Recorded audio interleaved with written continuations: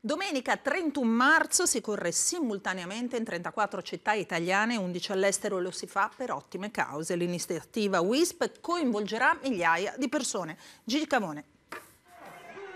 L'uguaglianza è in gioco. Si corre con questo slogan l'edizione numero 36 di Vivicità, la più famosa corsa internazionale in contemporanea che dall'84 a oggi ha fatto scendere in strada quasi 2 milioni di persone. Domenica 31 la giornata clou si correrà in 34 città italiane e in 11 straniere, in Bosnia, Giappone, Svizzera e Angola. Percorsi tutti da 10 km con un calcolo dei coefficienti altimetrici a cura dell'Istituto di Scienza dello Sport del CONI per poter stilare alla fine una classifica unica comparando comparando i tempi ottenuti nelle varie città. Abbiamo fatto diversi calcoli molto complicati, ma alla fine eh, hanno portato a elaborare dei coefficienti che consentono, eh, se la precisione del percorso in ogni città è assicurata, di comparare i risultati.